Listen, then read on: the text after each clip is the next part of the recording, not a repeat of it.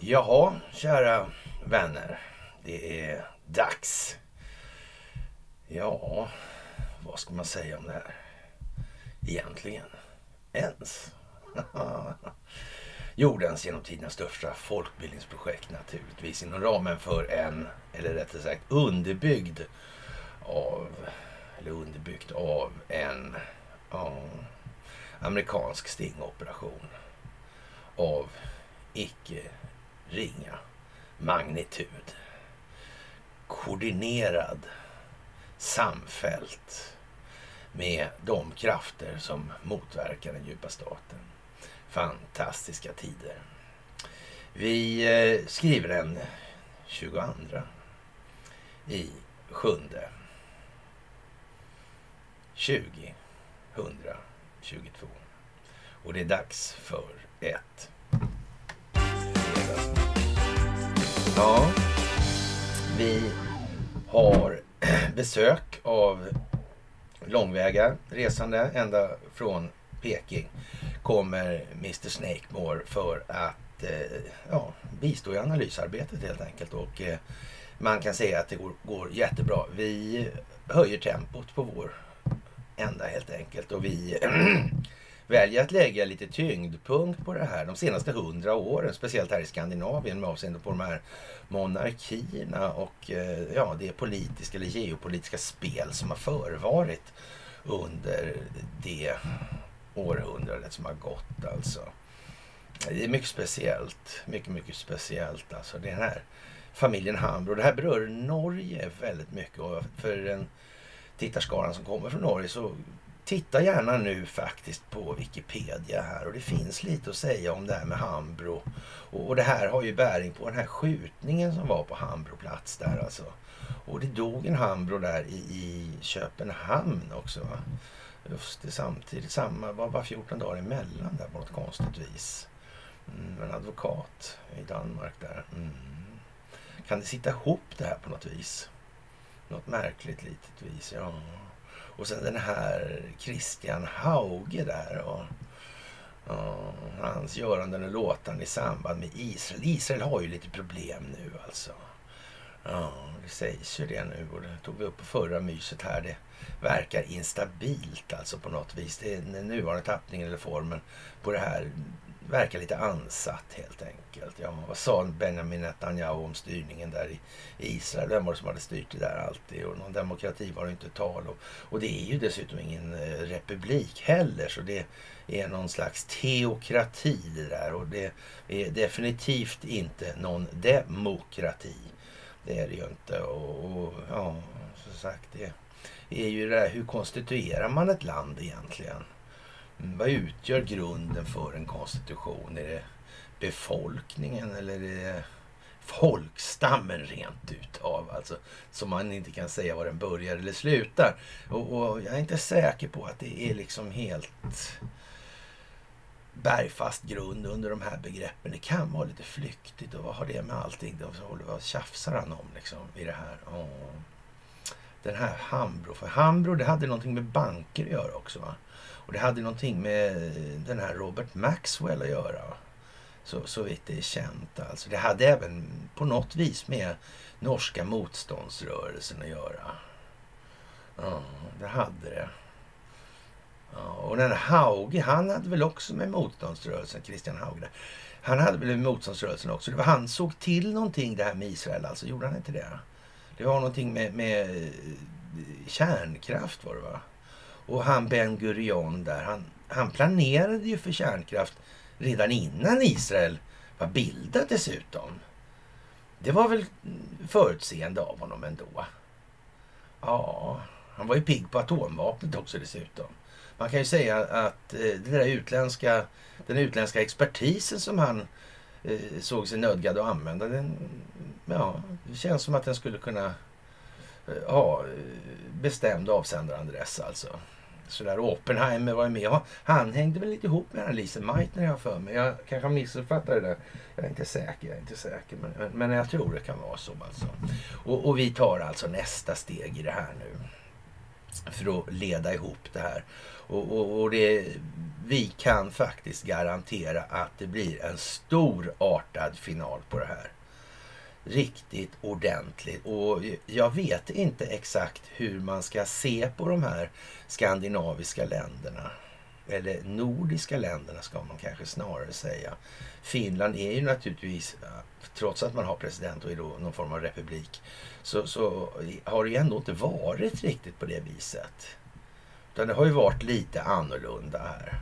Ja, faktiskt. Och, och Finlands sak är ju vår att ställa Polaris och vi har eh, en del pansargeneraler på Atton där och, och vi har någon sommarolympiad 12 och vi har ja, en tragisk bilolycka på slutet också dessutom och vi har ju Hörningsholm där och mm, Bonde där och så. Mm, undrar om det här sitter ihop. Kan det vara så? Jag vet inte. Vi får se helt enkelt.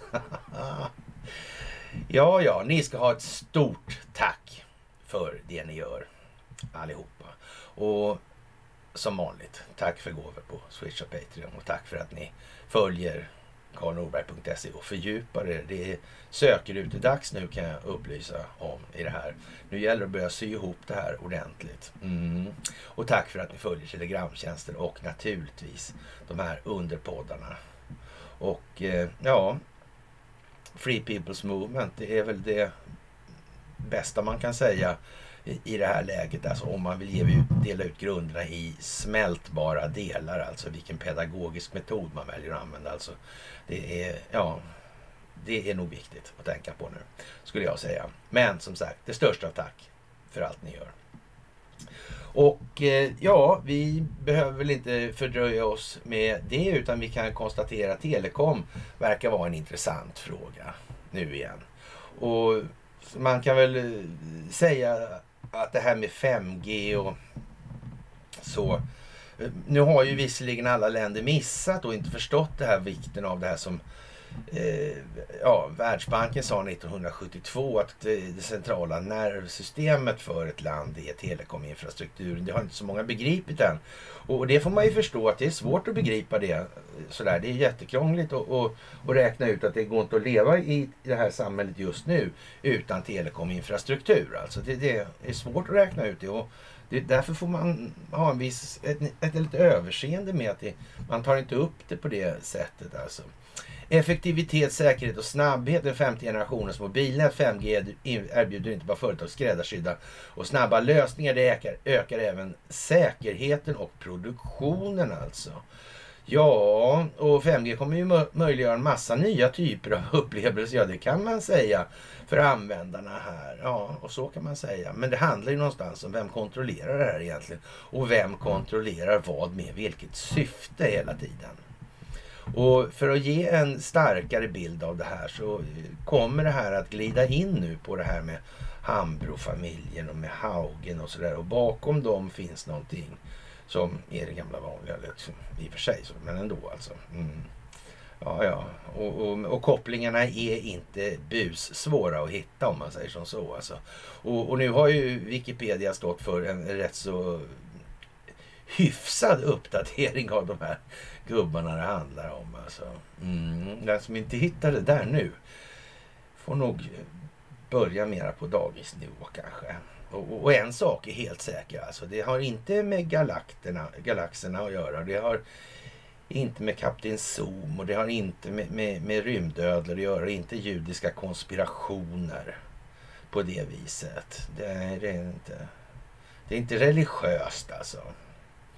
Även om man, så att säga har hemfallit åt den delen ganska så mycket, eller i ganska stor utsträckning under lång tid. Så att säga, för att skyla över vad det här är. Och så kan man kunna skrika en massa stigmatiseringsbegrepp åt vederbörande som kommer och anför en massa tokiga konspirationsteorier. Allt är en konspiration. Det vill säga, är det planerat? Nej, det tror jag inte. Absolut inte. Det kan det inte vara. Då hade någon sagt något. Ja, ja, ja, ja. Jaha. Och det här 5G-andet då, det är ju mycket speciellt alltså. Och, och, det kan säkert vara bra alltså.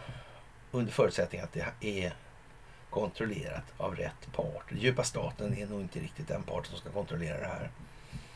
Men det är ju det där, alltså finns den djupa staten ens? Ja, det börjar ju bli påtagligt. Nu tror jag att faktiskt Boris Johnson var i farten också med det där. Och det är konstigt. Att han, han dristade sig verkligen till att säga liksom att hela det här med Brexit och det motarbetas av de djupa staterna alltså, och, och den här vänsterfalangen. Lite grann kanske som i USA kanske. Eller här, här i Sverige har vi det lugnt och tryggt. Där har vi ju eh, alla hela den politiska adeln är med i det där och ingen kritiserar de här globalistintressena så, som faktiskt i det svenska fallet får anses vara tämligen påtagligt närvarande i den här typen av obskyra verksamheter som bedrivs och som då kontrolleras numera av ja, amerikanska justitiedepartementet kanske. Kan det vara något? Ja, jag vet inte. Vi får väl se. Och som sagt, eh, Verison där, Westberg där, för, från Ericsson dit och eh, ja, man, man, säger ju faktiskt till och med på Ericsson Report så där har kommit fram till det då att ja, det är nog faktiskt så att det är Ericsson som kontrollerar det där då egentligen. Ja, det kanske är det ja. ja. Hur var det med det där eh, Leonardo-företaget i Italien där och, och den här ja, överföringen av data där. Mm. Det gick inte igenom en enda Ericsson-växel någonstans. Alltså. Och Leonardo-företaget samarbetar inte med Ericsson. Eh, jo, just det, det gör de förresten. Det gör de, de gör ju det om det där 5G. I Italien, ja så är det ja. just det, jag glömde bort det. Ja, ja, men då så.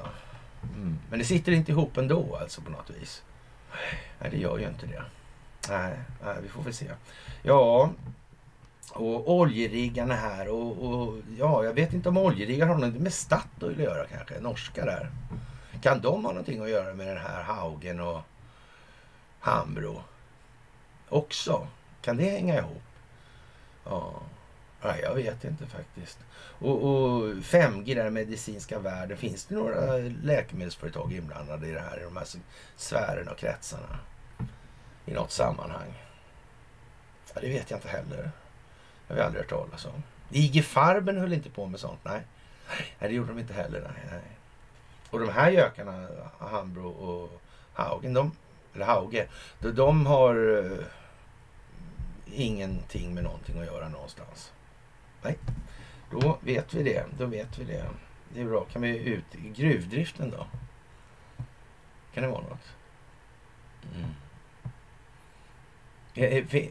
Eller nej, Atlas Copco har ingenting med gruvdrift någonstans att göra. Och, och Lundinföretagen har ingenting med utvinningskoncessioner att göra. Och där finns det inga folkrättsbrott kopplade till. Varför, varför är det så? Mm. Spelar det någon roll? Mm. Ja, inte för svensk juridik i alla fall, och svenska rättssystemet, för det kan de inte bli dömda. Så, nej det är klart. Så, så, ja. ja, ja, det är ju lite som det är det här nu. Och eh, som sagt, en eh, snabb och säker framtid genom 5G är budet nu i ny teknik helt enkelt. Jaha, och eh, det statliga affärsverket Svenska kraftnät håller på att ta fram planer för planerade strömavbrott. Alltså planerna kan aktiveras vid akut effektbrist, något som för första gången kan ske nu redan i höst. Alltså. Och det är södra Sverige som ligger mest risigt till alltså. Ja, det där är konstigt och, och det här är naturligtvis eh, priserna för det här eh, energispektaklet är naturligtvis det är helt seriöst alltså. Det är inte ett dugg marknadsgyckel. Nej. Eh, och det är därför man har alltså det här eh, en finanssida på energimarknaden, det vill säga man handlar på terminer alltså. Mm. Ja, och det är inget så att de här företagen håller på med någon form av nyttomaximering så att säga och, och minska produktionen för att kunna höja priserna och sådana här varianter. Och, och sen höjer de priserna själva då. Ja. Nej, men sånt håller, sånt håller man inte på med. Alltså.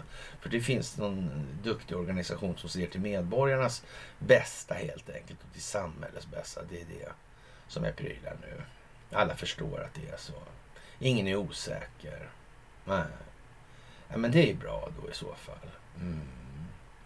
Ja, ja, när efterfrågan överstiger tillgången på el kommer då region, de regionala elbolagen att förvarnas om, aktiver, om att aktivera planer för så kallad, så kallad styrel. Vid sådana tillfällen kommer elnätsbolagen först att koppla bort icke samhällsviktiga funktioner. Det rapporterar Sydsvenskan som tagit del av rapporten Kraftbalansen på den svenska elmarknaden alltså från Svenska kraftnät. Och jag vet faktiskt inte om man ska gapskratta åt det här. Eller om man ska bara ta sig för pannan. Alltså. Nu har man gjort så mycket facepalms så man börjar ju få valkar i pannan av det här. Det, det är ju nästan, eh, ja, jag vet inte vad jag ska kalla det för längre. Det är mycket speciellt alltså. Och jag, jag vi har diskuterat det här, jag och, och eh, ja, herr Snakemore från Peking alltså.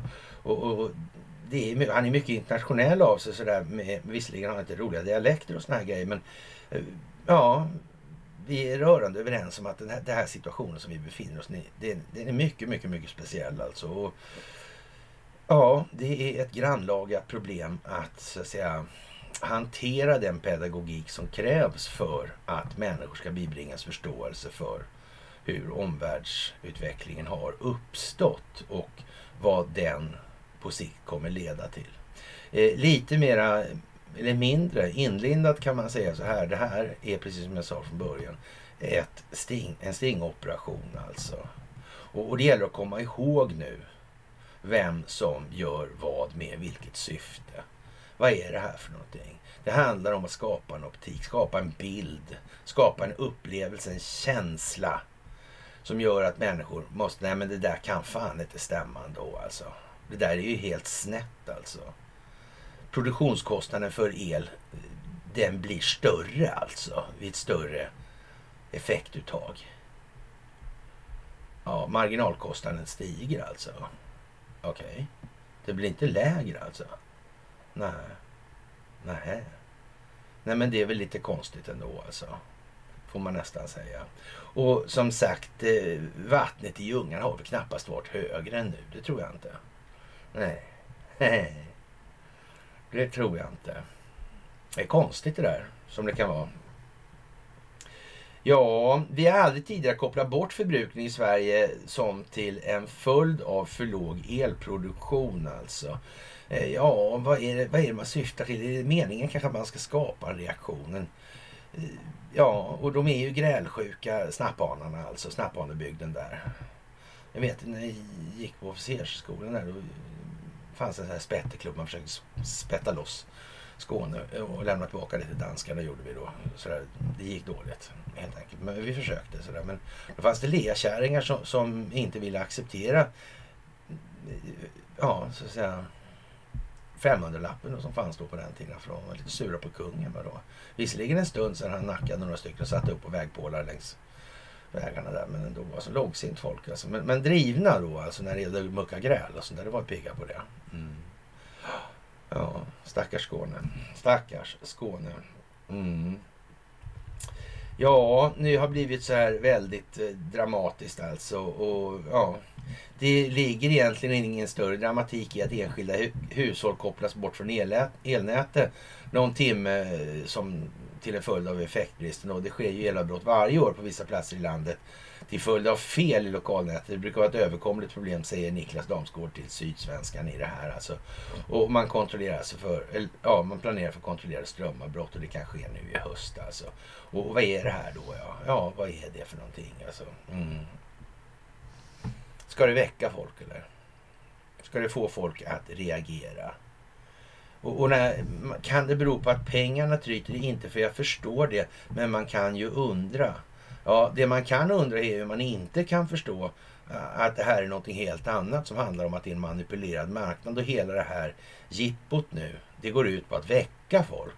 Att folk ska vakna och engagera sig. För tro mig, det är så här alltså. Det blir så mycket lidande som krävs för att människor ska reagera och engagera sig. För det är enda vägen ur det här. Om inte de engagerar sig i det här och sin egen utveckling. Alltså att de börjar ifrågasätta sina egna känslogrundande värderingar. och utvecklar sig själva som individer, ja då kommer vi ingen vart. Det här kan bara gå framåt genom att samhällets utveckling blir någonting alltså av. Ja, och alltså samhället kan bara utvecklas som individen utvecklas. Det är inte svårare än så nu. Och det måste man faktiskt kunna begripa. Det klarar de flesta av alltså. Jaha, och eh, ja, talespersonen för Rysslands utrikesdepartement eh, kritiserar USA för att ha målat om basketstjärnan Britney Griners häktning som ett fall av olagligt frihetsberövande. Hon menar att eh, ja, USA visar bristande respekt för rysk lag. Alltså det amerikanska utrikesdepartementet rubricerade Greiner som en felaktigt fängslad i våras och flyttade över ens ärende till presidentsändebudet för gisslanärenden. I praktiken den amerikanska regeringens främsta gisslanförhandlare. Vi känner ju till en sån sen tidigare. Jag undrar om han har med det att göra fortfarande kanske. Ja, om en amerikansk medborgare togs i samband med att hon smugglade droger och hon inte förnekar det här borde det stå i proportion till våra ryska lokala lagar och inte med det som finns i San Francisco, New York och Washington, säger Sakarova. Och San Francisco, New York och Washington är väl eh, inte de geografiska platser som har minst anstrykning av den djupa statens närvaro i alla fall. Så kan vi ju säga och då har vi inte överdrivit någonting. Det kan man inte påstå, nej. Och, och, jag tror att det är bra att komma ihåg det här nu faktiskt. Det, det tror jag. Och för att inte säga att jag är helt säker på det alltså. Ja, det är märkligt det här alltså. Eh, Basketstjärnan Britney Griner erkände för ett par veckor sedan sig skyldig i rysk domstol. Enligt henne hade hon dock aldrig uppsåt att bryta mot lagen. Hon står anklagad, anklagad för narkotikabrott och riskerar tio års fängelse alltså. Och, och Grein greps på flygplats i Moskva i februari efter att tullpersonal hittade cannabisolja i behållare för e-cigaretter. Sen dess har basketspelaren med två oskuld på meritlistan suttit frihetsberövad i Ryssland. Hennes häktningstid förlängdes nyligen till 20 december. Mm. Ja, jag vet inte. Ska man respektera andra länders lagar? Eller ska man göra det här som svenskarna gör, eller Sverige gör? Ja exploatera alla andra länder och sen förvänta sig att bli väl behandlad. Är det ett framgångsrecept kanske? Jag är inte så säker på det. Men jag är ganska säker på att det inte är det. Det är jag faktiskt. Ja, vi får väl se vad det blir av det där. Helt enkelt. Mario Draghis avgång kommer drastiskt att förändra Italiens ställning i den ukrainska konflikten och dess inställning till Ryssland, skriver The National Interest. Och det här kommer att vara ett allvarligt slag mot stödet av Ukraina från den enade västvärlden. Eh, ja, det verkar väl konstigt att det kunde bli så. Men det är nog inte planerat faktiskt, det tror inte jag. Det finns flera anledningar till det här och, och för det första kommer nästa italienska regering säkerligen kräva att Kiev förhandlar med Moskva för att avsluta konflikten. Även om de måste göra territoriella eftergifter i processen. För det andra är det osannolikt att den nya regeringen kommer att stödja ytterligare sanktioner mot Ryssland. Särskilt när det kommer till då olja och gas. Mm. Slutligen är det möjligt att den framtida italienska regeringen kommer att vägra ytterligare militärt bistånd till Ukraina. Ja, det kommer ju säkert inte att bli superbra för Italien det här med 5G som sitter ihop med Ericsson och det här med Leonardo-företaget och rollen i det amerikanska valet. Det här med amerikansk valdata som är exporterat helt i strid mot amerikanska vallagar. Mm. Det är ju speciellt. Det är allt. Ja, men som sagt, hundra år är lång tid alltså. Ja, tänk att i Vesuvio finns så mycket sump. Det kan väl inte bara vara en slump som Karl Gerhard uttryckte sig i den delen. Jaha, och så var det det där med demokrati och republik igen. Alltså Riksidro Riksförbundet FUB har granskat eh, ja, tillgängligheten hos de politiska partiernas valmaterial, valmaterial för personer med intellektuell funktionsnedsättning och betyger vi blandat, rapporterar SVT. FUB har granskat tre aspekter. Tillräckligt med information, lätt att hitta samt bildstöd. Alltså bara Centerpartiet får godkänt på alla tre punkterna. Både Vänsterpartiet och Kristdemokraterna får underkänt på samtliga punkter. Det är inte demokrati att stänga folk ute, säger FUBs Therese Wapsell alltså. FUB står för, för Riksförbundet för barn, unga och vuxna med intellektuell funktionsnedsättning, utvecklingsstörning.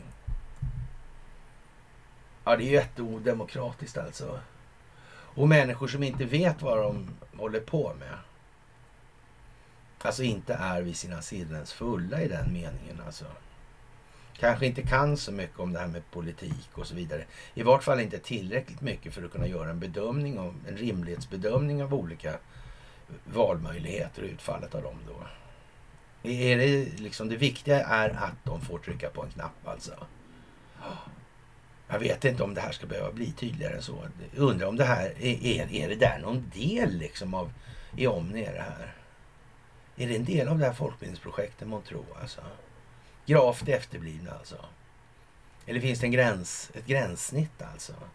Ett segment av saktfärdighet alltså inom det. Var börjar och slutar det någonstans alltså? Mm. Vårdkollin, ska de rösta? Hjärndöd, ska de också rösta? Var går gränsen? Mm. Kan de bedöma, avgöra själva om de ska rösta eller inte? Mm. Som sagt, det är rätt så tydlig optik i det här nu. Och, och ja, eh, Demok Conny sitter ju i sur då där nere på Skaraslätten höll jag på att säga nu och, och, och, tycker då liksom glad fredag med en pingvin då och skriver så här att demokratisystem med där två med intellektuell funktionsnedsättning, utvecklingsstörning kan rösta ner en utan intellektuell funktionsnedsättning, utvecklingsstörning. Ja, jag vet inte. Det är i alla fall klartext vad det är för någonting då. Och frågan är då, är det rimligt? Är det lämpligt? Vad är det som spelar roll i det här? Är det att de får rösta? Och då är det de här två. Men vi vill ha karameller, säger de. Vi tycker det är roligare med karameller. Ja, det vill vi ha. Ja, ja men säg den här som inte är då eh, utan, eller som är utan då funktionsnedsättning och utvecklingsstörning. Men det, det, det, är nog inget bra att vi bara äter karameller. Liksom. Vi har en fabrik här och vi ska nog tillverka något annat ätbart i den alltså än karameller. Nej, men vi vill ha karameller, säger de. Ja, de är ju två, så då får de bestämma. Mm. Eller hur, var går gränserna någonstans i det här? Är det här svårt att förstå? Är det krångligt? Kan det vara många olika sätt? Är det liksom någonting som man... Ja. Det är svårt att fatta och greppa och... Ja. Man omfattar med tanken. Är det så? Nej, jag, jag, tror att det här, vi börjar komma rätt långt. Alltså, det är lite så att det börjar bli lite eh, skamgränsvarning alltså om vi behöver gå så mycket längre. Nu får fan i mig människor ta sig samman i det här. Det går inte alltså. Nej, det viktiga är att de får trycka på en knapp alltså. Ja, men de förstår ju ingenting då. Säger någon att vi ska ha karamellomröstning alltså, då kommer en stor andel av de här tycka att det är en bra idé alltså. Jag vill ha karameller. Ja. Ja, då, vad heter det? Karamellodiktstipendiat. Kan man ju tänka på kanske. Mm. Ja, ja. Och eh, ja, det är ju lite ja, olika kvalitet på informationsflödet kan man säga. Det varierar lite grann sådär. Och, och man, får, man får ta olika saker för vad de är lite grann. Och en sak som är i alla fall ganska uppenbar är att det gick in en rysk ubåt då i Östersjön. En atomdriven sådan. Och det, vi ser ju liksom inte miljörörelsen protestera ihjäl sig för det här. En sån här dödsmördarfarlig ubåt. Mm. Var det inte så kärnvapenfri eh, zon? va? Eller vad sa man? Ja. Mm. att man hör inte av miljörörelsen lika mycket i de här frågorna. Nej, konstigt det där. Så måste man, och de här krigen då. då eh, är, är krig då, är det miljövänligt krigande, jag tror? Som man håller på med till stora delar. Eller är det något annat? Det är svårt att förstå det där mellan varven. Ja. Och och eh, ja, det ska röra sig då om en atomdriven attackubåt som under natten har följts av den danska flottans fartyg. Ja, det stämmer då, men av säkerhetsskäl kan vi inte uppge hur länge den danska flottan följer med den ryska ubåten, säger Karin Dahlin, presstalesman vid danska försvaret i TT. Och, och det svenska försvaret är, är förtegen om händelserna, alltså vilken dramatik. Ja, den är ju rätt så rejäl den här båten då kan man säga, så, så den kommer ju liksom inte knappt ner under ytan. Alltså, det är någon, någon sån där jävla vidlyftigheter, det är inte aktuellt. Utan man, här, och, och, man har ju valt själv då från rysk sida att segla öppet då så att säga. Mm. Ja, det är mycket speciellt alltså. Det får man nog säga. Ja, vi har full koll på vad som händer i vårt område, följer alltid händelseutvecklingen noga, men i övrigt vill vi inte uttala oss i alla fall. Marie Tisäter vid Försvarsmaktens presstjänst alltså. Och, och, det där försvaret vi har, det är ju, ju konstigt alltså. Mm. Ja, jag vet inte hur man ska tolka det där riktigt. Ja, ja. Och eh, det här med privata banker i Kina verkar ju konstigt. Vad surt det verkar bli. På något vis. Det där är konstigt alltså. Ja de här oroliga kunderna då när, när det blir då enligt då eh, banklagstiftningarna då, eller bankregleringarna så att banken har alltid bättre rätt till alla tillgångar i banken. Att den helt enkelt kan konfiskera människors tillgångar i banken för sin egen balansräknings skull. Mm. Ja, det där är udda alltså. Det där är udda. Absolut alltså. Ja, och, och, och, måste man ta till då, den kinesiska staten måste köra ut eh, stridsvagnar på gatorna för att skydda de här bankerna. Hade det inte varit enklare då att den kinesiska staten hade skött de här bankerna istället? Hade det kanske varit mer effektivt? Kan det här vara ett sådant exempel? Som visar liksom ändå att fan, det verkar inte något bra med de här privata bankerna. Och dessutom staten backar upp det här skiten, skitspektaklet. Det är bankregleringen. Det verkar precis som att den här internationella regleringsbanken och, och ja, för att travestera lite på amerikanerna, alltså bra privatägda.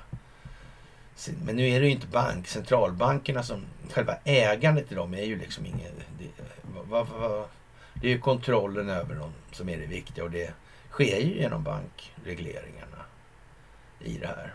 Och det är regleringsbanken som gör regleringar. Det hör man nästan på namnen. Det, det, det är inte skitsvårt alltså. På det viset.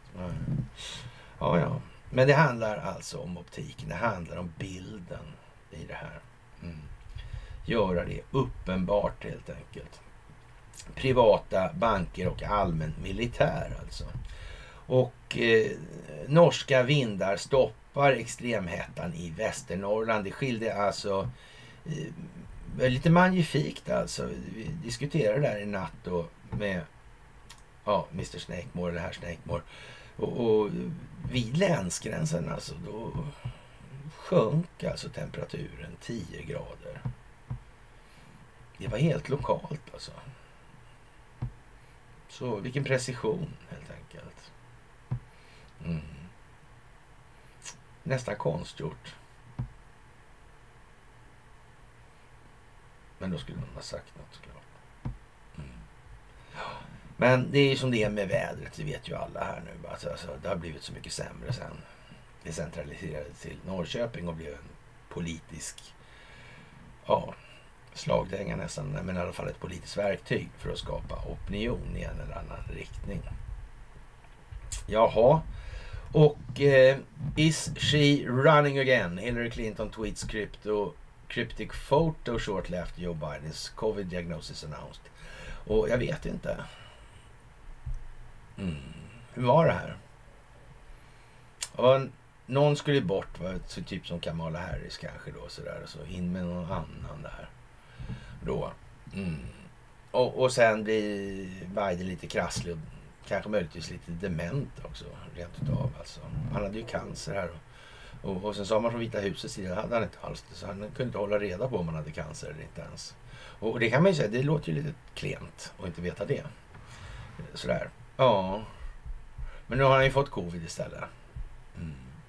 Men det går ju bra fast han är fullvaxad och full boostad. Mm. Men det är ingen signal som ska skapa någon effekt i det här. Utan det talar man om då liksom. Ja, han har fått covid liksom. Så. Ja, vad ska man säga egentligen? Och som sagt, ut med Kamala Harris. In med någon annan. Bort med Biden. Den inklivne tar in en vise. Och då har vi ju sagt det här ett tag nu. Att, eller under ganska lång tid skulle man säga också. Ja men det vore ju mest dråpligt med Hillary Clinton såklart. Mm. Och nu är det som på som de tittar på mysen helt enkelt. Mm. Märkligt, märkligt. Ja, fast det går ju kanske med Michael Obama också. Det är... Ja. Det är ju inte heller fel ändå alltså. Och så lite påföljd. Men samtidigt tiden då alltså. För det här. Och på tal om det här med Hambro. Oh. Och Hauge. Var det inte någon handling som avhemligades 2008? Det var ju då han, Obama, blev vald. Mm. Och den handlingen handlade om att någon var anställd av OSS. Och chefen för det OSS vad hette han nu? Jag kommer inte ihåg längre.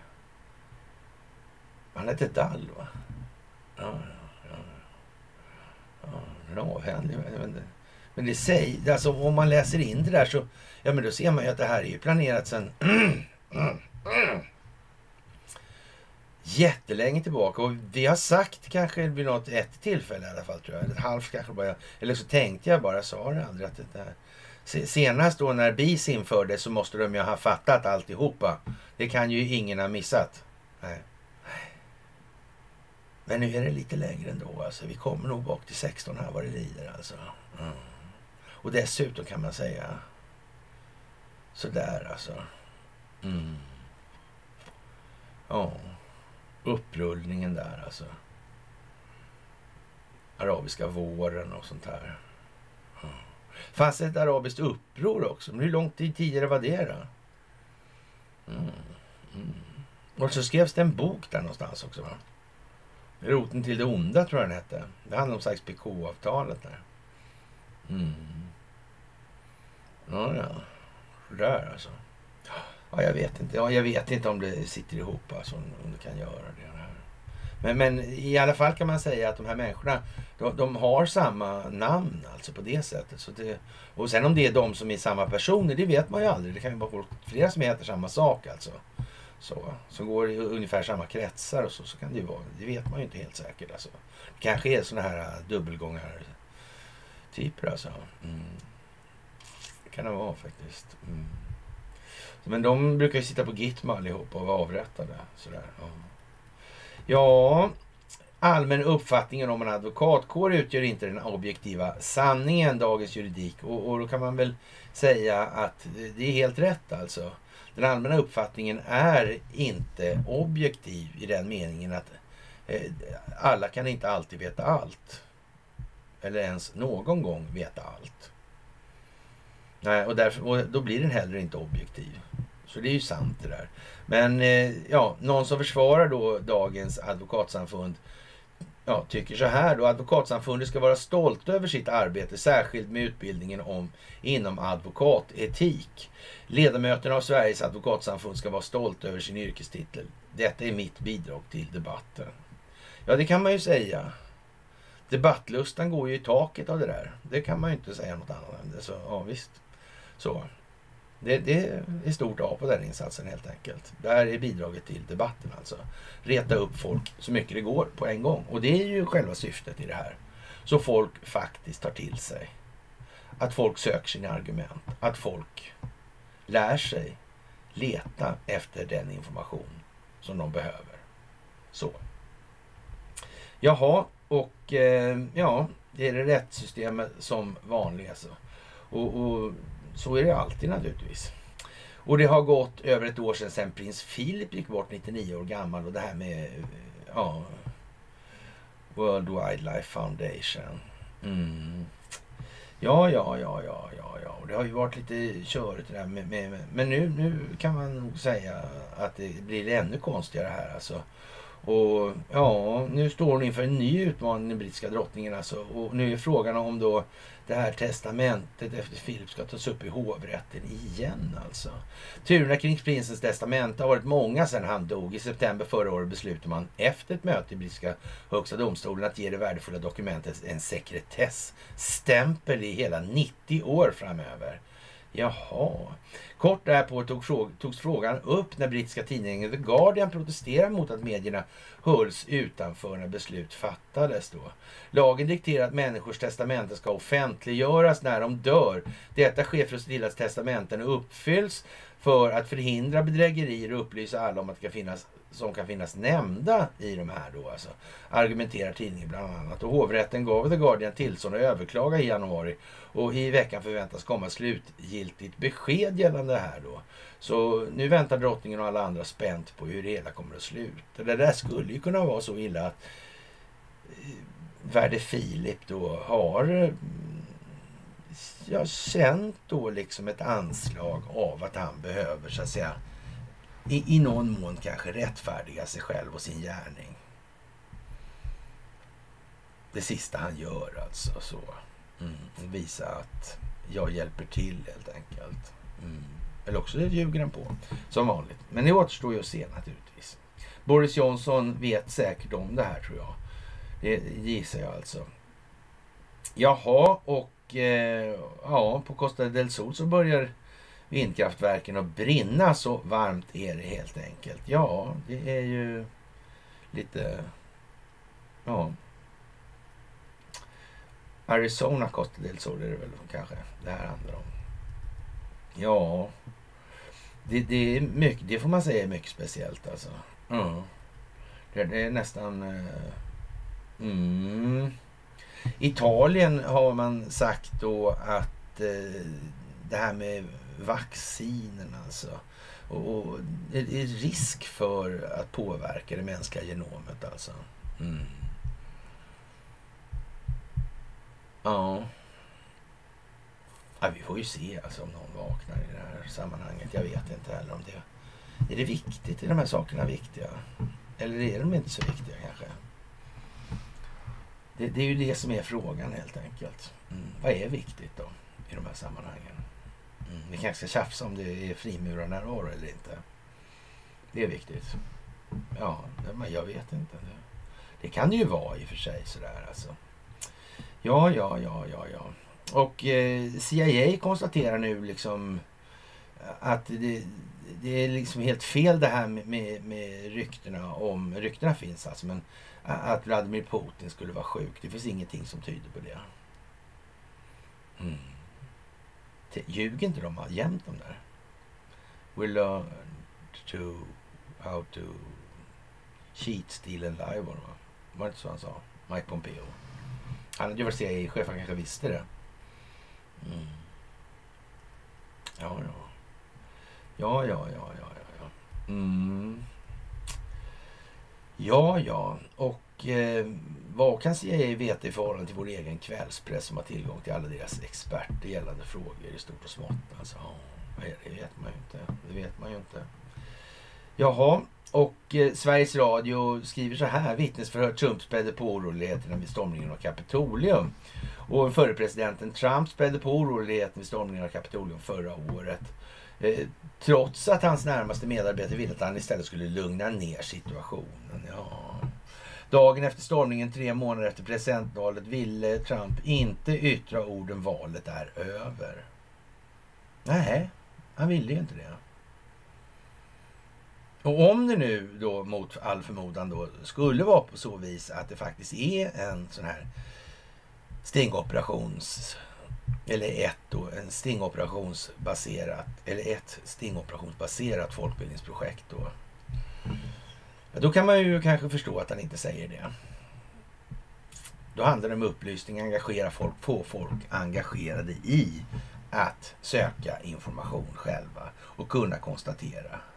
Man får vara komplett idiot om man inte ser sambanden med den geopolitiska utvecklingen och Hambro-familjen och den här Hauge.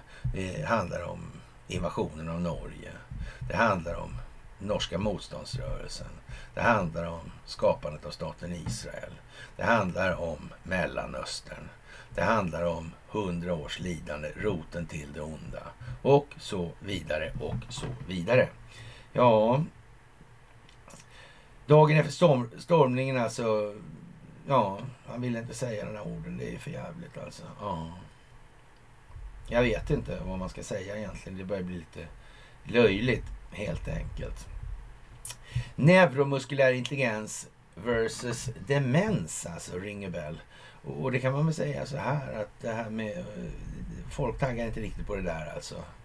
Det här... Uh, man kan ha helt ruttna muskler. Man kan till och med sakna muskler.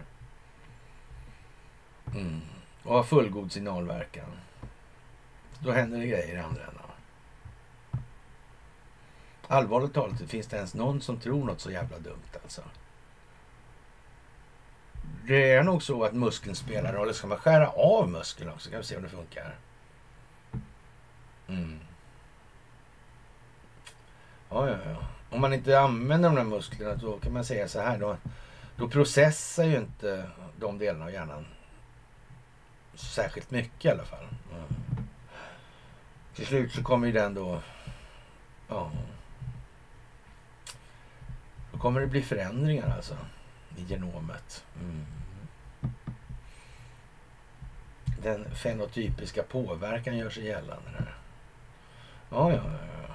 Då blir inte folk smartare alltså. Nej, då blir de dummare. Ja. Har vi sett det i någon sån här tech? Finns det undersökningar på att folk har blivit dummare?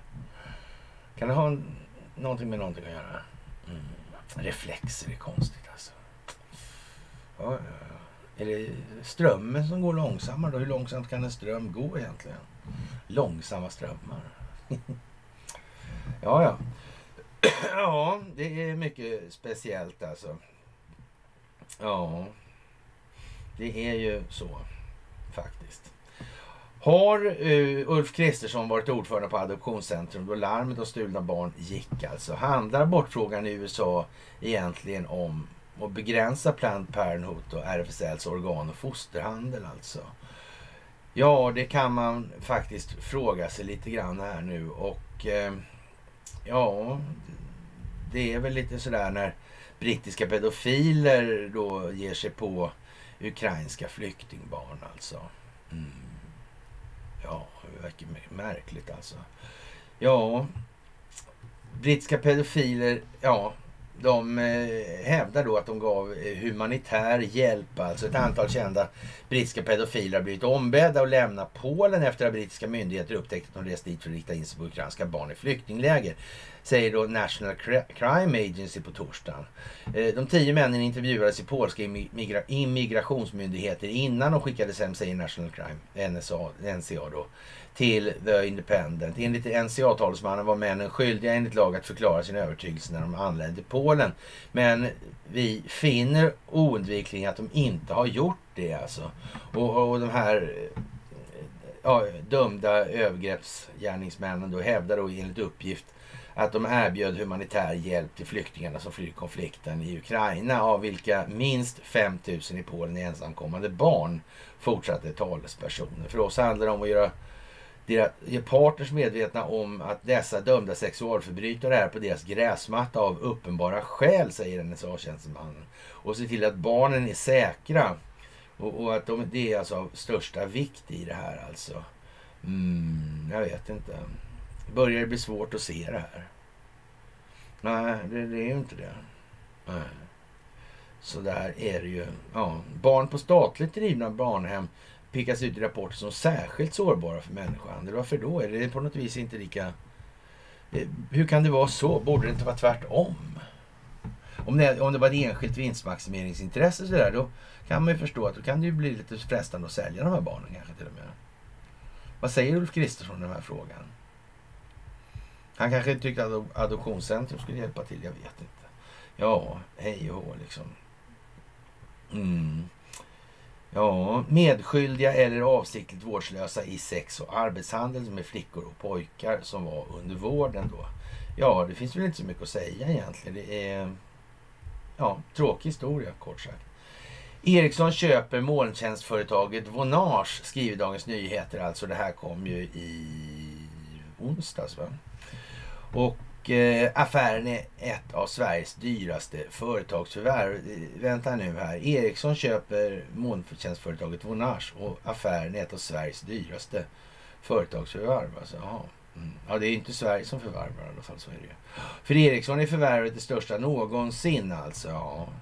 Köpeskillingen landar på 6,2 miljarder dollar vilket motsvarar runt 63 miljarder kontant för bolaget. Bonage säljer standardiserade tjänster som gör att kunderna inte behöver utveckla egna appar. Dagens Industri skriver att investerare var förbryllade över att valet föll på just Vonage och DN skriver att analytiker är skeptiska både på grund av prislappen och för att affären kan vara svår att förstå. Det viktiga är att komma åt ekosystemet och sen tar vi reda på hur många av dem som kommer att knyta eller kommer att lyfta nätverks-API-erna, säger vd Börje Ekholm till DI då.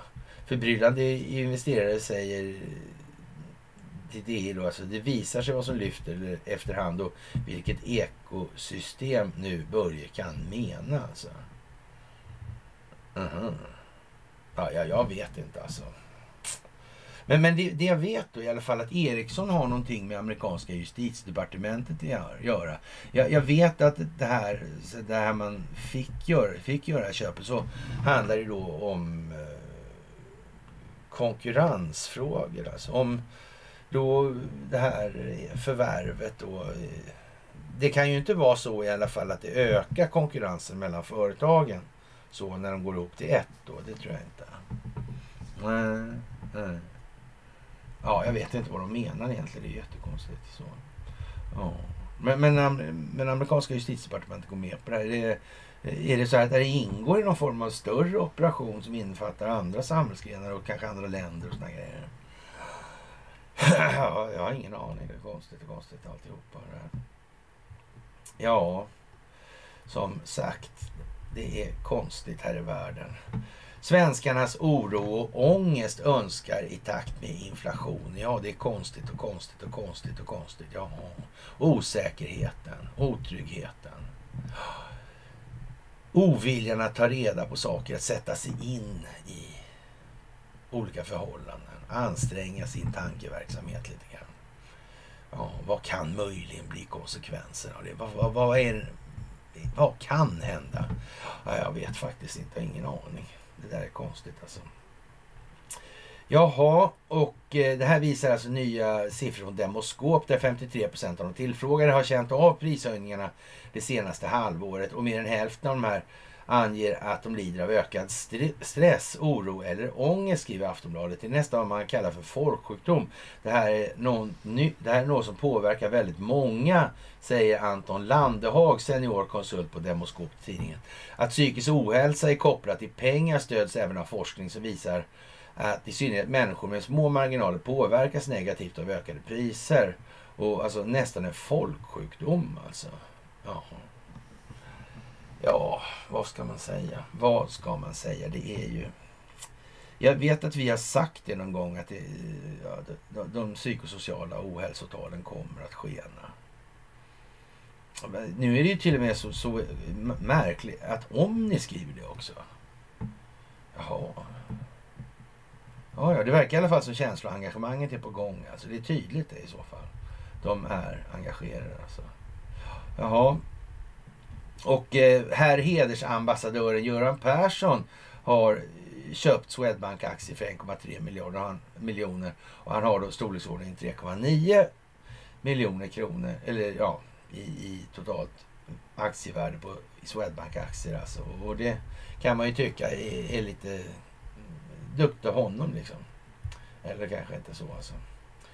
Nej, och Eh, ja, han vet ju hur man spelar för att vinna. Det har vi ju sagt. Och eh, med repliker från klassiska actionfilmer tackade Bojo för sig häromdagen då och förklarade att uppdraget var till en stor del avklarat nu alltså. Och han gav sin blivande efterträdare rådet att hålla sig nära amerikanerna och stå upp för ukrainarna. Stå upp för frihet och demokrati överallt alltså.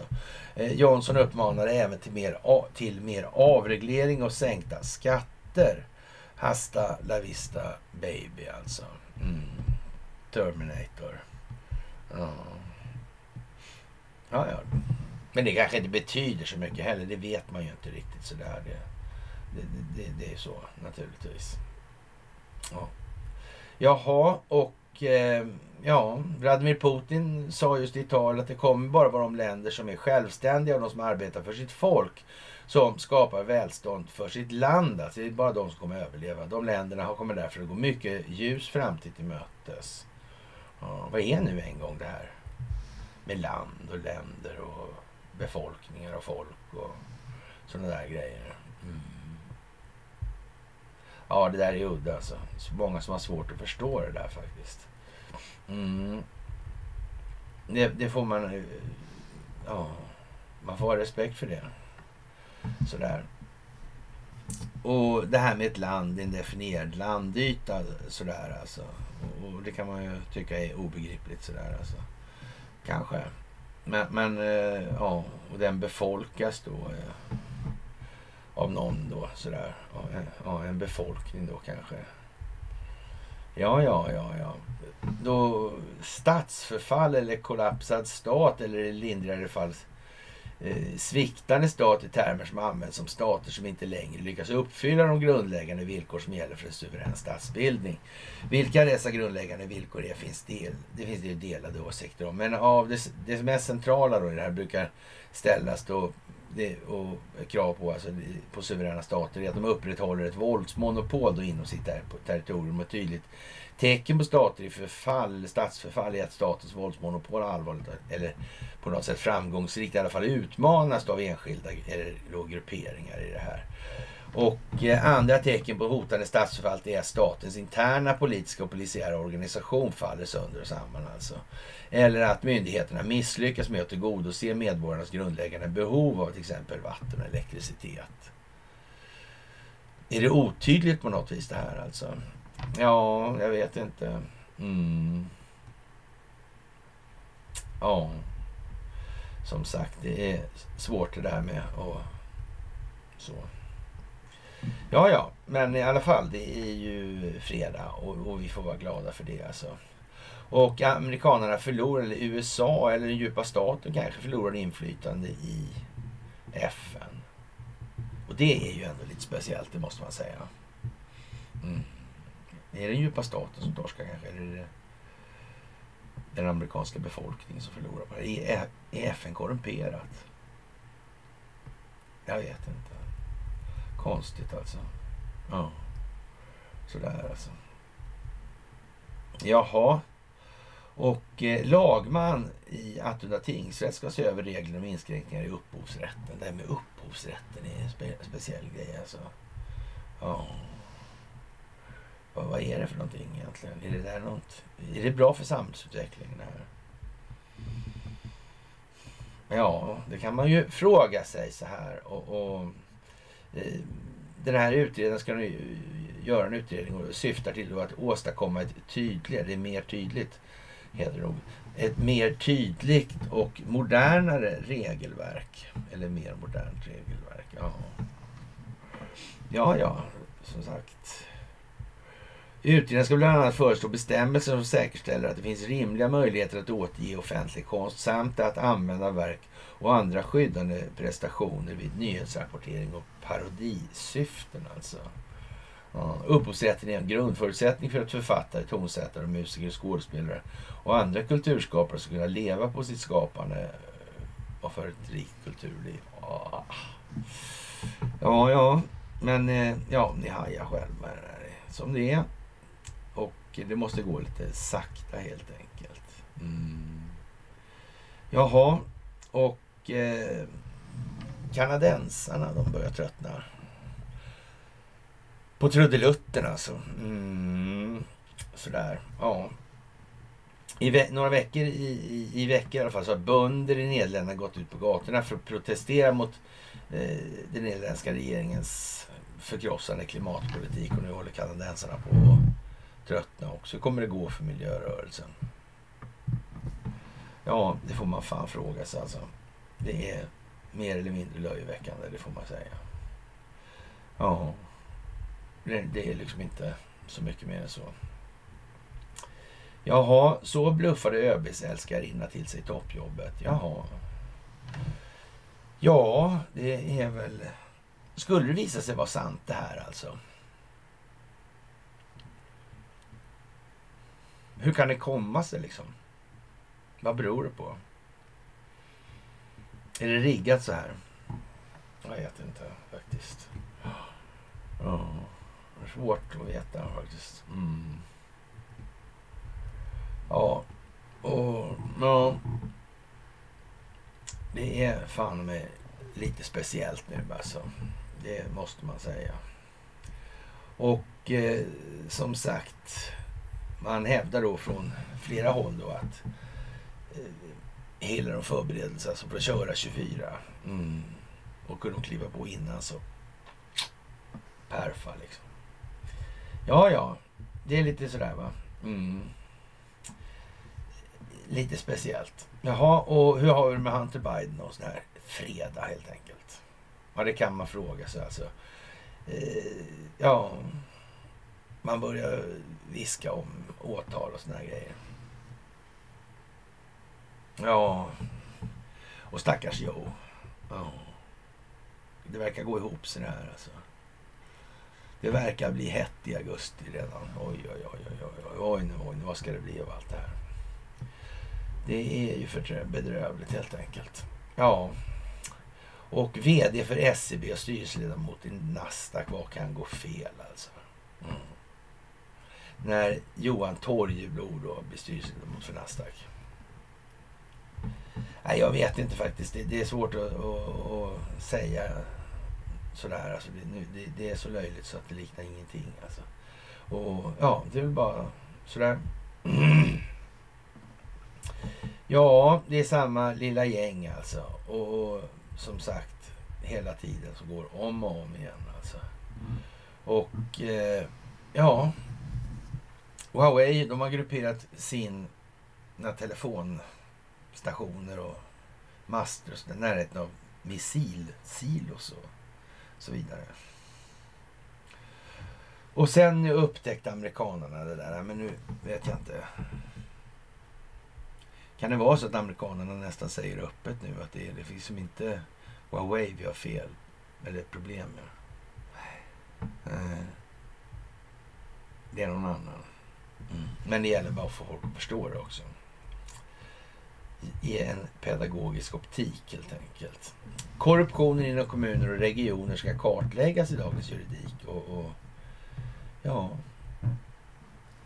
återigen, vi vet inte, vi förstår inte någonting om det här. Mm. Tioåringar erbjuds alltså arbeta av covid-skulder i Australien. Och nu måste jag liksom... Hjälp alltså. Men eh, nej, jag vet inte. Ja. Är det svårt? Är det någonting som är oklart? Ja, det verkar som att det är oklart på sina håll helt enkelt. Mm. Ja, helt enkelt jävligt speciellt alltså. Hur det ser ut med eh, säkerheten på Sveriges Radio alltså. Mm. Det är som det är, kort sagt. Och eh, ja, någonstans så vet vi ju nu vad det här ska landa i och vi vet varje sak som händer, vad det innebär ur ett större perspektiv eller ett bredare perspektiv och ett djupare Eller en djupare planeringshorisont. Ja, det vet vi också. Ja, nej, det är bara att... Mm. Efter DNs granskning, Sveriges Radio och MSB kallas till försvarsutskottet. Alltså. Ja, ja, det är som det är nu faktiskt. Och eh, det är ju liksom inte så mycket att säga. Och Durhams avhemligade information om Russiagate, alltså när världen inser att motverka mot, mot den djupa staten koordineras globalt. Vad är det här för någonting? Det är svårt, det är svårt att förstå liksom. Mm. Att det läggs upp för att verka då synkront, alltså med synkronicitet. Saker läggs upp ur olika perspektiv, alltså med olika syften opinionsbildningsmässigt. Ja, och Joe Biden sa ju att han hade cancer och det var ju helt fel förneka Vita huset sen. Jag vet inte. Det är jättekonstigt. Sådär då. Ja, faktiskt. Och försvarsutskottet kallar till extra möte om stridspiloter. Det är ju lite fantastiskt måste jag säga. Och jag tittade i förordet till Unibest, alltså uniformsbestämmelserna från 2015. Där. Ja, det här med att inte... Ja, fel grund till, eller fel grund till yrkesval. Liksom. Ja, men, men det kan bli jättebra ändå, helt säkert. Ja, det kan det bli. Mm. Jag vet inte. Och sen var det en annan grej som var konstig. Det var ju tur nu då, då att regeringen har kommit på att man borde reglera underrättelsetjänsternas handel med hemlig information från 2025. Det, att det inte fanns reglerat nu. Att man upptäckte det, alltså att det inte var regleringar på det här. Ja, ja, men ändå då. Sådär. Det är lite speciellt, det måste man ju säga alltså just nu. Det, det går inte att sticka under stol med alltså. Och, och Wolodarski, Sveriges Radio, hotar att anmäla DN till Säpo. Jag vet inte. Kära ni, det är fantastiskt. Det mal ju på något så ända in i helvete. Och eh, ja, den här eh, vardagen den här veckan är slut nu i alla fall. Det är de ju inte, men eh, fredagen är kvar. Men eh, ja. Och eh, ja, jag och eh, mannen från Peking, alltså Mr Snakemore. Vi ska ta en titt också på det här med JP Morgan och hans båtar och HMS Hawk och krökta kölstockar och sådana där grejer. Mm. Men med det sagt så får jag önska herrskapet en fantastisk trevlig helg. Och så hörs vi absolut senast på måndag. Ni är jordens överlägset bästa internetpublik. Så är det bara. Okej, trevlig helg.